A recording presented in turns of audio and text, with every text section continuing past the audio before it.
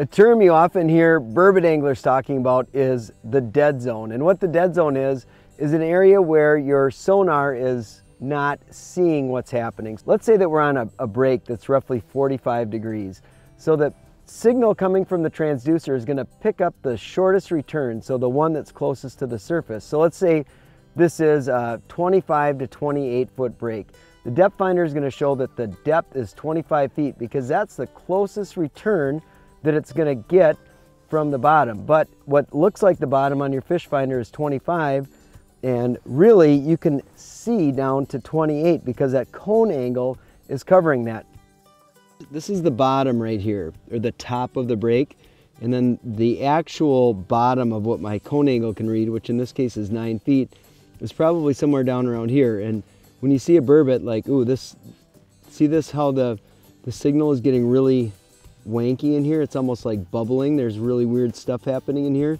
When you see those types of returns, that's an indication that there's a burbot. So notice if I were to set the screen to be the bottom here to look up, I would have no idea what's happening below the bottom.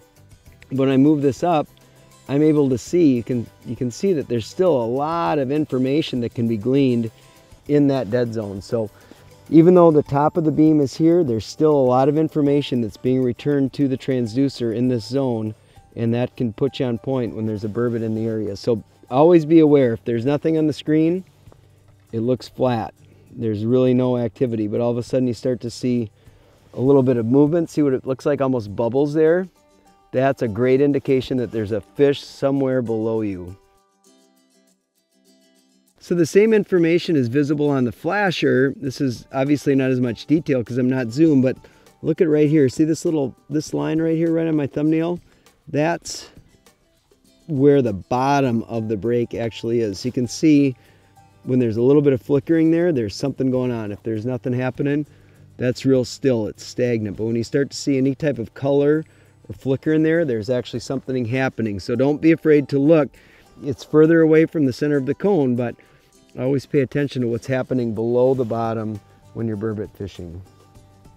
There is information still available, so when you're setting a zoom on your flasher or your helix unit, make sure that you're setting, when you're burbot fishing, make sure you're setting to look below the bottom. Don't focus so much on what's above it, but look below because that's where you see most of the burbot. The bottom gets all weird and bubbly, and that's a burbot looking at your jig.